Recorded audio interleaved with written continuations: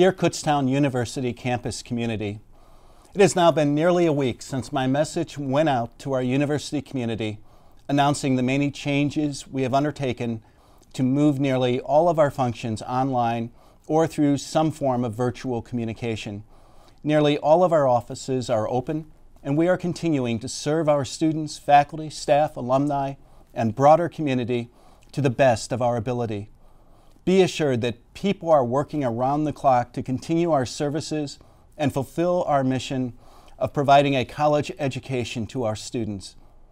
I fully understand that there are barriers, and we are doing everything we can to break down these impediments and provide the best possible service and education we can under these circumstances.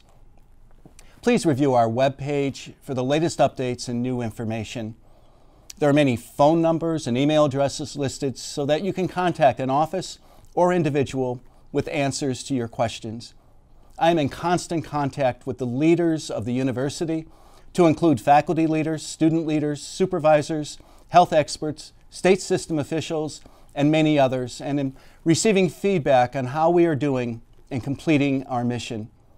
Many questions have been raised by members and our community that have helped us to adjust our protocols and to better communicate. In my previous message, I quoted famed writer David Brooks when speaking of enlightened people. He says that these people are calm, settled, and rooted. They are not blown off course by storms. They don't crumble in adversity. Their minds are consistent and their hearts are dependable. They possess the self effacing virtues of people who are inclined to be useful but don't need to prove anything to the world. They display humility, restraint, reticence, temperance, respect, and soft self discipline.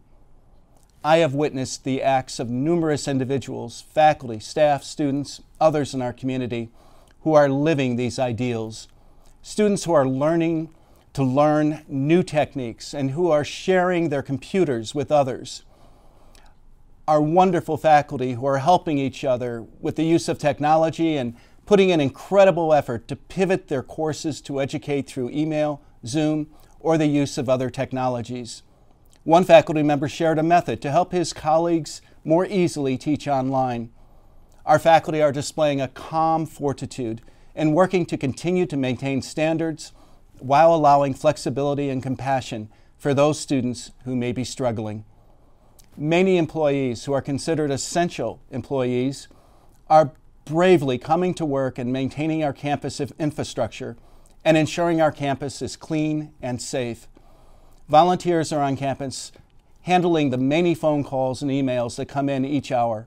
Our IT employees have been manually reprogramming many hundreds of laptop computers to be loaned to our students. Housing and dining personnel have been attending to the many needs of students who are still on our campus. Our health center professionals are taking care of the needs of our students.